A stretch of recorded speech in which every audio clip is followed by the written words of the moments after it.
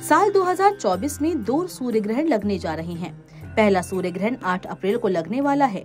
धार्मिक दृष्टि से देखा जाए तो सूर्य ग्रहण को एक शुभ घटना नहीं माना जाता। सूर्य ग्रहण लगने के साथ ही सूतक काल भी लग जाता है।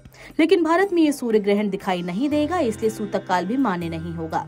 फिर भी इस दौरान कई तरह के नियमों का ध्यान रखा जाता है। आइए इस वीडियो में आगे जानते हैं।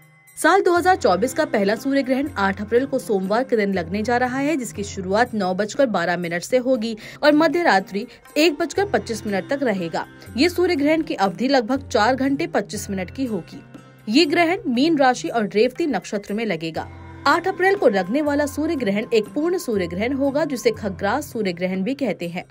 जब चंद्रमा पृथ्वी और सूर्य के बीच से गुजरता है तो इस दौरान कुछ समय के लिए चंद्रमा सूरज की रोशनी को धरती तक पहुँचने से रोक देता है। इस घटना को सूर्य ग्रहण कहा जाता है।